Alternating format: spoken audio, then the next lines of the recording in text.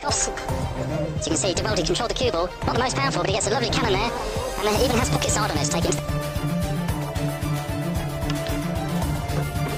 Oh, you got to say... Uh, not a shot. Look it, I A scary situation considering this point of the match. It's a lot harder for a player to see the angle and judge it just right. especially playing it left-handed.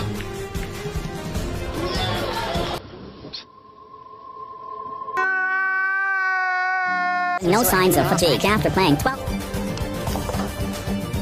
Using the angles, as he does so well. Has to be careful, as he has to get the right angle on this. Has he one solid ball and lastly the eight ball. Had to play with draw, off two cushions, and that looks good. Is he going to stop? And it's left him a really